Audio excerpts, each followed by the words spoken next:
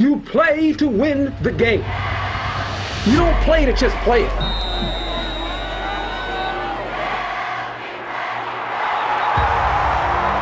Come on, Lenny. Pump it in there, baby. Just keep matriculating the ball down the field, boys. But they are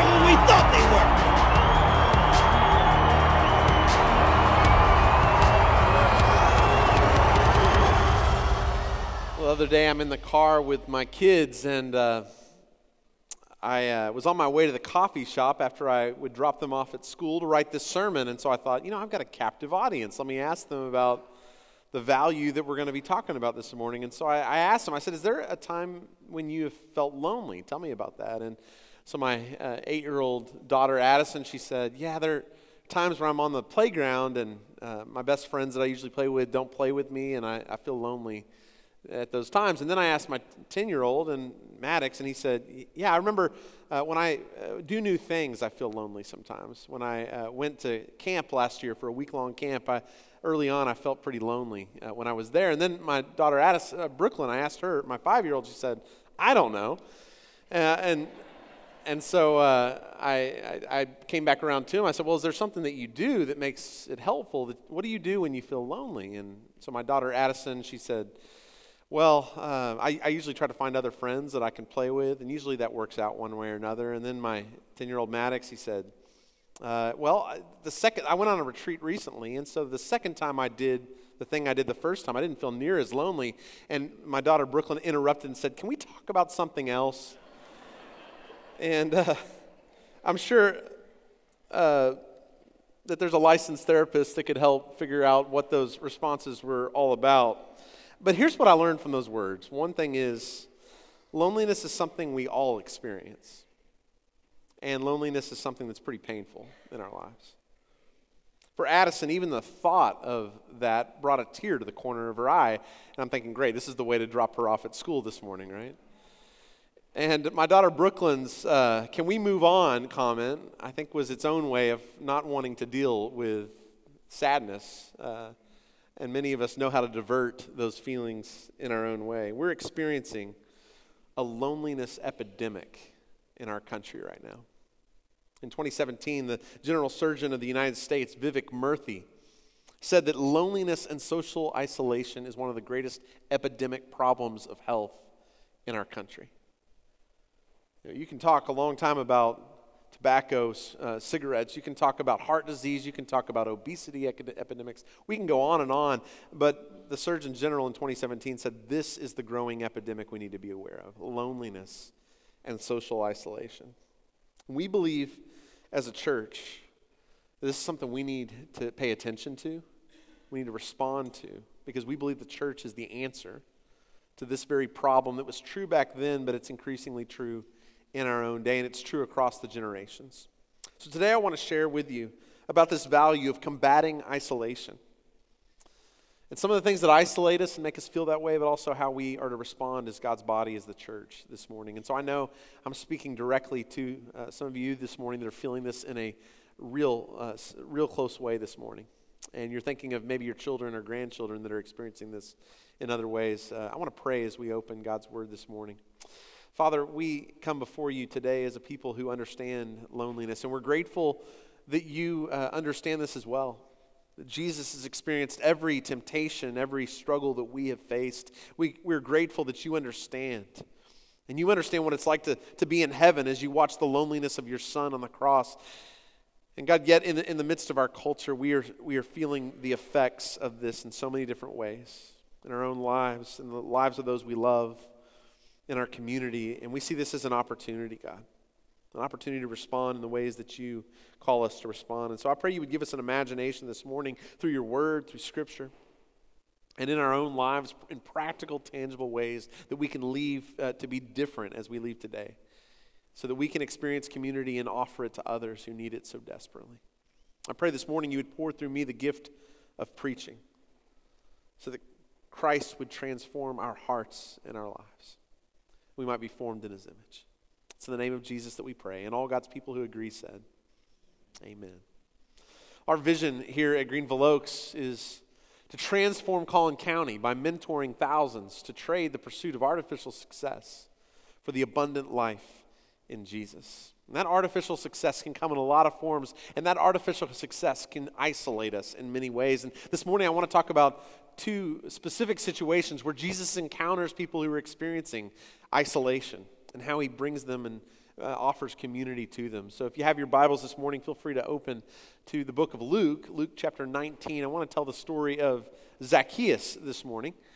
Zacchaeus.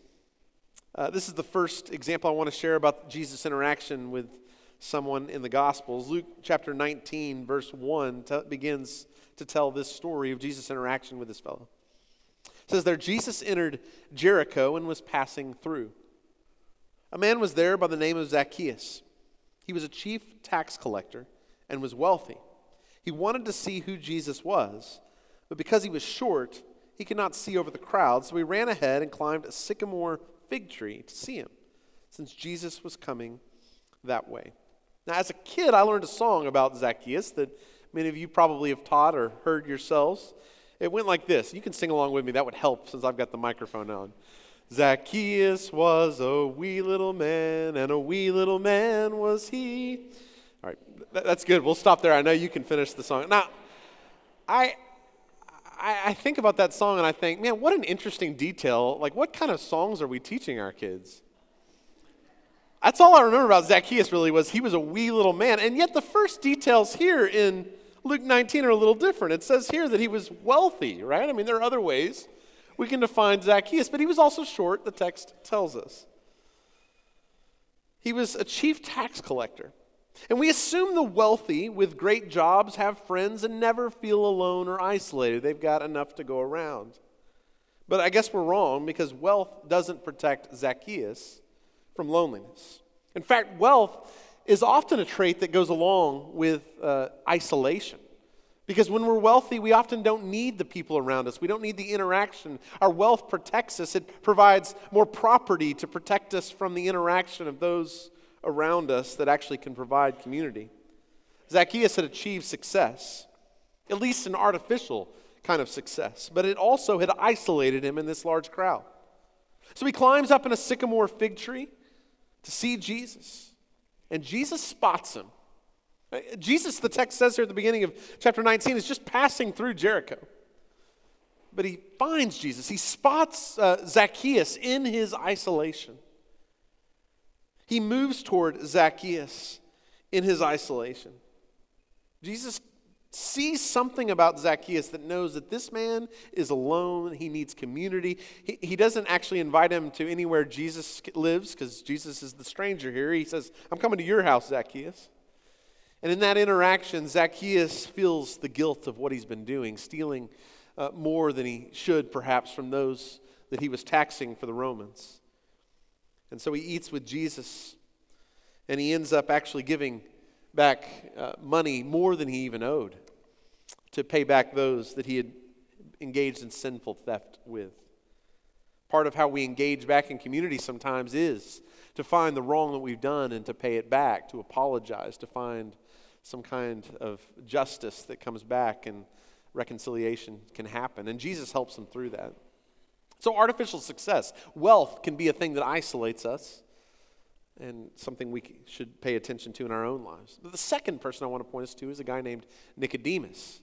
You find this story in John chapter 3, which I'm not going to read this story there in John 3 to you, but feel free to open there to the Gospel of John. We'll go to a different place in that Gospel in a minute with Nicodemus. Nicodemus is a member of the Jewish ruling council, the Sanhedrin. This is a kind of political group, but it's a religious group that helps uh, adjudicate things and determine the way forward for the Jewish people. He was highly respected, he was in a position of power. But the problem of being in a position of power is it's sometimes hard to speak up and question the party line of that tribe because they might turn against you. So sometimes there's an isolation when you found yourself into a leadership position, a feeling of uh, feeling hemmed in in some way. And there's something about Jesus that caused Nicodemus to wonder if he was the only, if he was the one that the Jewish people had been waiting for. Maybe this was the Messiah. So Nicodemus goes to Jesus, and the detail here in John 3 says he goes to him at night, which I think is an important detail. Because questioning the prevailing beliefs of your tribe is isolating. And the rest of the Jewish ruling council had known Nicodemus was, if they'd known that he was considering that Jesus might be the Messiah, there would be repercussions to those kind of questions. So he felt isolated in the midst of believing in who Jesus was. Some of us this morning may feel that sense of, man, if I go all in on Jesus, there might be some isolation from family that taught me another way. Or maybe it's an isolation of leaving a behavior or a lifestyle that you realize that there may be loss of friends if I truly admit what God's leading me to. And it's an important lesson for those of us who are leaders or parents or friends. If we find ourselves in positions of influence in a community, if people are questioning Christianity within a, a, church like ours, or maybe in your own family, let's allow people to ask their questions and doubts without the fear that if they ask their real questions, they might be ostracized and isolated from that community. Because Nicodemus finds a place to go whether they want him to or not. How do we become the kind of people that br- people bring their deepest questions to us, knowing they'll be safe and received? They'll be loved first in the midst of it. So let us learn to be a safe place where people can bring their real questions and doubts without fear of exclusion. That's what Nicodemus needed, and it's what Jesus offers in this moment. See, Nicodemus had experienced an artificial form of religion, success within that artificial religion. He was in a community that rejected his deepest questions, but Jesus loved Nicodemus first, just like we talked about last week. Jesus allowed Nicodemus to feel fully known and fully loved in this moment. And in John chapter 19, later on in the story, Nicodemus shows up again. So you read with a little bit of what happens to Nicodemus after this interaction with Jesus. He tells him, You have to be born again. And, and Nicodemus is confused by all this. But Nicodemus seems to stick with this community, seems to stick with Jesus and his teaching. And later on, we find a remarkable thing when Jesus dies on the cross. Listen to this small detail in the story. This is John chapter 19, verse 38 and following. Again, this is right after Jesus has died on the cross. Later, Joseph of Arimathea asked Pilate for the body of Jesus. Now, Joseph was a disciple of Jesus, but secretly because he feared the Jewish leaders. With Pilate's permission, he came and took the body away. He was accompanied by Nicodemus, the man who earlier had visited Jesus at night. Nicodemus brought a mixture of myrrh and aloes, about 75 pounds. Taking Jesus' body, the two of them wrapped it with the, spice, with the spices and strips of linen. This was in accordance with Jewish burial customs. At the place where Jesus was crucified, there was a garden, and in the garden, a new tomb in which no one had ever been laid. Because it was the Jewish day of preparation, and since the tomb was nearby, they laid Jesus there. Now, these probably seem like small details if you're not paying close attention. Why does it matter who exactly took the body and where they placed this body? The big news, though, is that Jesus has died. That's the story we walk away with from this chapter in Luke 19. But John could have reported this without any of these details. In fact, the other Gospels don't seem to mention these details. But we find out about this guy named Joseph of Arimathea, who's a follower of Jesus, a disciple of his. But did you pay attention to that detail when they introduced him? He secretly followed Jesus. Why? For the same fear Nicodemus had, out of fear of the Jewish leaders. I find this really interesting, and this is a theme throughout the Gospel of Luke, actually. Because this is written to a group of people who were experiencing the same persecution later on in the 60s, 70s, 80s in Jerusalem and around there. Many of them are being kicked out of the synagogues because they're believing that Jesus is Lord. And so these stories are reminders, they're hopeful reminders to know there are others that have been isolated, that have feared the Jewish leaders and so forth. But this Jesus movement, this early church, we welcome those questions. The same fear that caused Nicodemus to go to Jesus at night in John 3 is the same fear that caused Joseph of Arimathea to secretly follow Jesus. But this shared fear between them has turned into a relationship of some kind. He's found that there's this one in the Jewish ruling council, Nicodemus, who's safe to bring his questions to. And so Nicodemus is providing a relationship for Joseph of Arimathea that in the same way Jesus had provided to him in John chapter 3.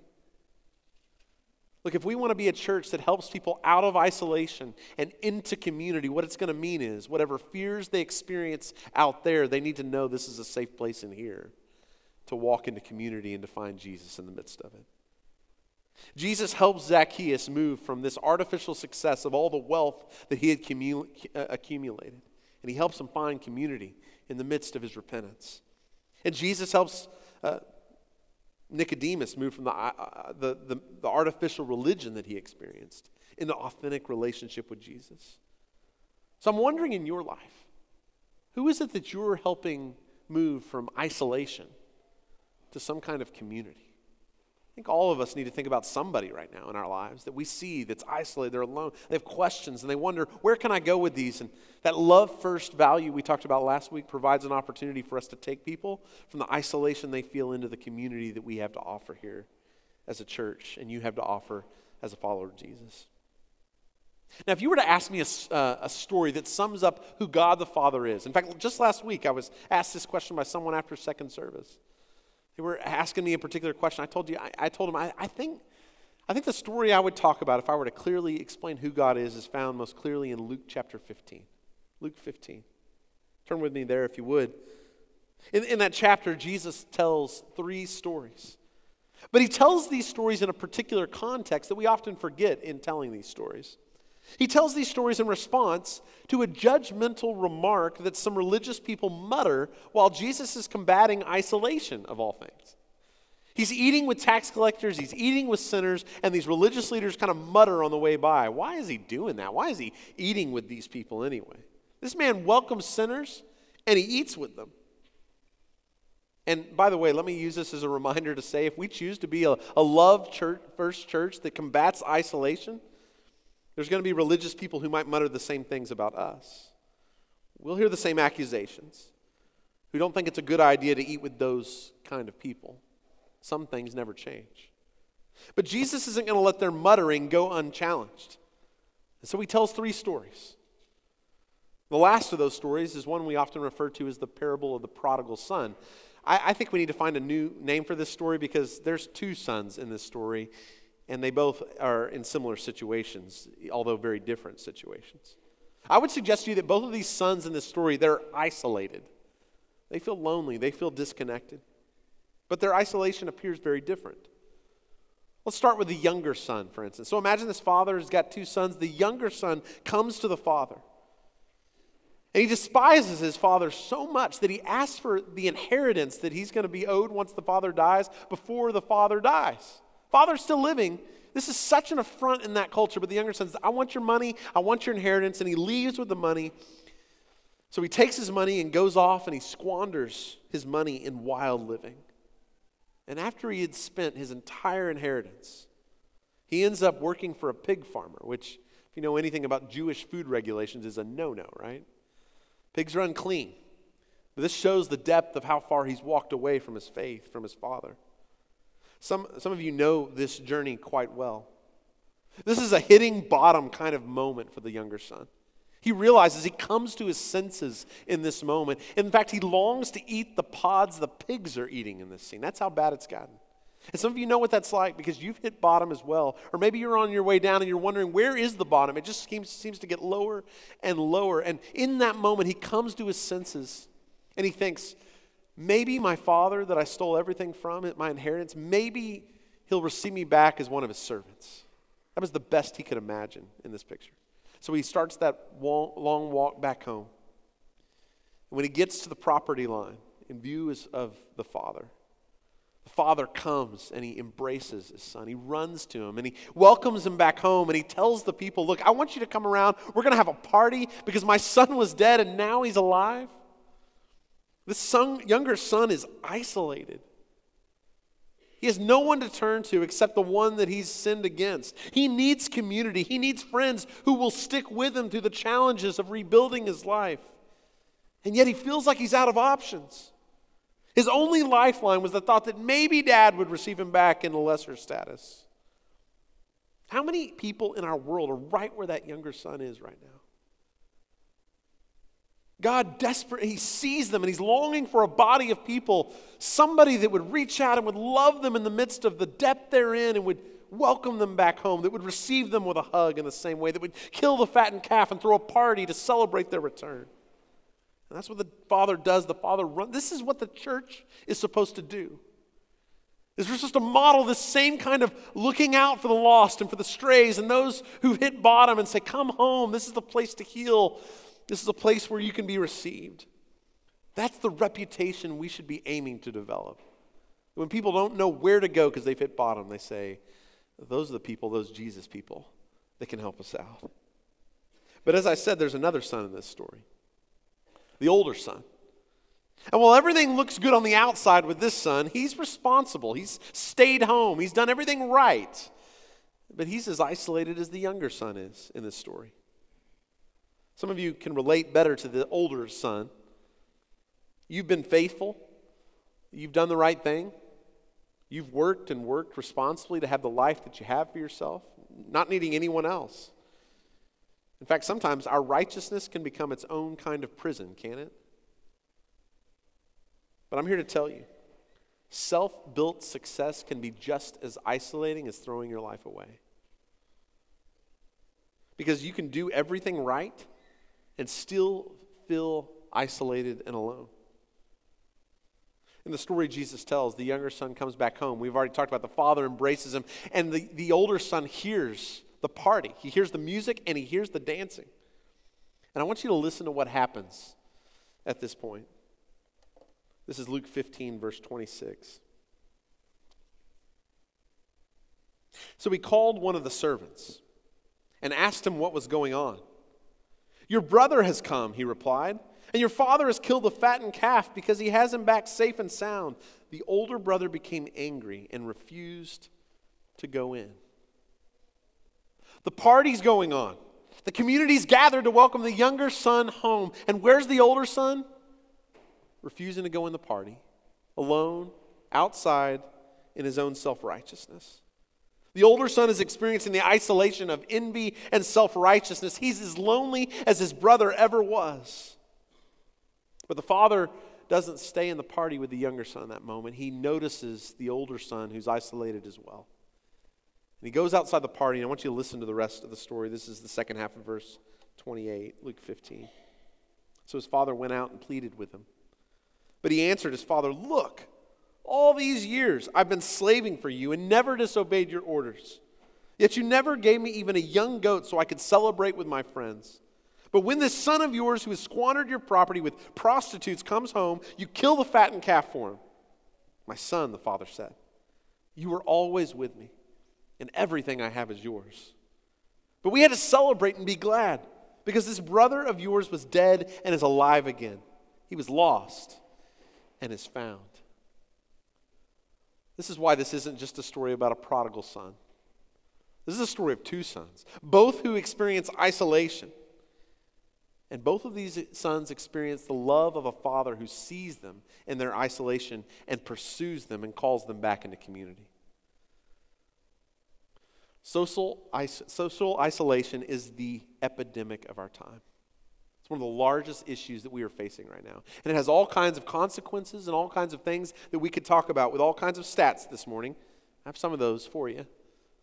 Rates of loneliness have doubled since the 1980s. One third of the population, one third, says they have two or fewer people to lean on. A 2010 study found that weak social connections can shorten a person's life by 15 years which is the same as smoking 15 cigarettes a day. Think about that. Across the generations, we're experiencing an epidemic of loneliness in our time and our place. Older generations have struggled with social isolation for, for years now because of the death of friends and loved ones, transitions to new places, new cities, and facilities, and the physical challenges of a lack of mobility. But for the first time in 2017, Young people climb to the top of the list when it comes to social isolation. One in three young people say they feel completely alone much of the time. Nearly 40% say they have no one to talk to or feel left out sometimes or always. And sadly, studies are showing us that religious participation isn't making much of a difference between those who are connected to church and those who aren't. And it's not just senior adults and teenagers. My kids experience loneliness. your kids and your grandkids, and you experience, I experience loneliness. And for some reason, we feel ashamed to admit we're lonely because it looks like everyone's connected. But can we just admit that we're lonely this morning? In the midst of the busyness, in the midst of the social media profiles and what we project, we're lonely. And Jesus wants to do something about that. Jesus wants to combat the isolation that you feel. Part of the abundance he wants you to experience is close relationships with people who will help you move from isolation to community. You know who wants you isolated? The evil one wants you isolated. The thief that Jesus talks about in John 10 wants you isolated. Because the thief comes to steal, to kill, and to destroy. The evil one comes to fill you with discouragement and desperation. The evil one thrives when you feel alone. But Jesus comes to offer an abundant life. And the early church followed the example of Jesus. They created a community that experienced life together. They met daily in each other's homes, breaking bread early on, right after Pentecost. They felt this sense that they had a community even when they left the families that kicked them out, the synagogues that had done the same. The early church was the community that accepted and redeemed Saul in the moment he needed it most. You remember this story? Saul approves of the death of Stephen, the first Christian martyr. And later on in Acts chapter 9, he's, he's on his way to persecute other Christians because he's convinced that this Jesus, see, the, the, the church, the, the, the synagogue, the Jewish leaders are still doing this in the next, right? They're kicking people out of the synagogue, they're causing fear, they're persecuting and killing. And, and Saul's one of those who's doing that. He's one of the chief ones who's doing that. But he meets Jesus on this road. Now imagine the isolation that Saul must feel if he's convinced that the one who appears to him on the road is actually Jesus. Because now he's got this decision am I going to go back and refuse to believe what I just experienced, this bright light? Or am I going to believe that Jesus is actually Lord? And there are implications to both. Because if he doesn't accept Jesus as Lord, if he goes on in his way, then he's ignoring the experience he's had of what God's done in his life. But if he believes it, he's leaving an entire community of people, and he's going to depend on the very people he's been persecuting and killing to receive him in. And what does the early church do? Ananias receives him in.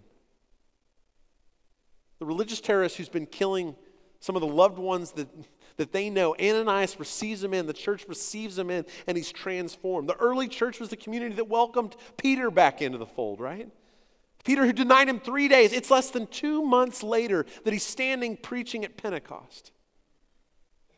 And they receive a message from this one who had denied Jesus that God's doing a new thing in this day and this age. They welcomed and received him back home after his isolation. The early church was the one that cared for the orphans in that day when it was common to expose children and allow them to just be exposed to the elements and die. It was the Christian community in the early centuries that welcomed them in, that took those orphans in, made them their own children, provided for these kids that were isolated. The early church was the community that cared for the disease in the midst of epidemics, much more than what we're seeing even with coronavirus right now. It was the early church that received them in, which makes me wonder what does that look like for us in our own day to be this church that takes those who are isolated, who are alone, who are diseased, who are orphaned, all of those who are left alone. It's the church's job to welcome them in. And you know what happens when the church does that? They grow daily. God adds to their numbers because there's never a shortage of people who are isolated who need community. The early church grew because they chose to invite isolated people into an experience of community. And the same can be true today in the midst of our epidemic of isolation. I shared some stats earlier with you that are discouraging about the health risks, about all of those things about isolation. But there are other stats that should offer us hope this morning. There's opportunity in the midst of this isolation. In one study I saw this week, the two highest predictors of longevity how long you'll live, are close relationships and social integration. How much you interact with people on a regular basis as you move through your day. Adults who have at least three stable relationships have lower rates of dementia. Women who have three stable relationships are four times more likely to survive breast cancer than those who experience isolation. Men who've had a stroke, who meet regularly with other men, are better protected by that kind of social contact than even the medication doctors can provide. Yet over a quarter of the population says they have no one to talk to. This is an opportunity for the church. When it comes to young people, the thing that makes the largest difference in their lives is having a trusted relationship with adults that they can trust. One third of young people, listen to this stat one third of young people have one or fewer adults in their life they can trust, and that includes their own parents. If you have no trusted adults as a, as a, as a youth, 66% of young people say they feel alone. Now, if you change that number from zero adults to one adult, that number goes from 66% who feel alone to 46 who feel that way. 46%. But listen to this. If you have five trusted adults in your life as a young person, only 9% say they feel alone and isolated. And this is why one of the things we've said in student ministry and children's ministry is we want every child outside of their parents to have five trusted adults that in those hard teenage years and young adult years they can look to. That's why our youth group and the small groups that are there on Sunday nights are so vital for your teen, for your students to be involved in classes that go on. All these things that we do to volunteer in these areas are vital for the kind of community we need to build. The church has an opportunity, and Greenville Oaks is committed to being a church that combats isolation. But it is going to take all of us to make this a reality. This isn't something we just talk about and make a reality. And we're not there yet. Many of us right now feel like we're in the midst of isolation.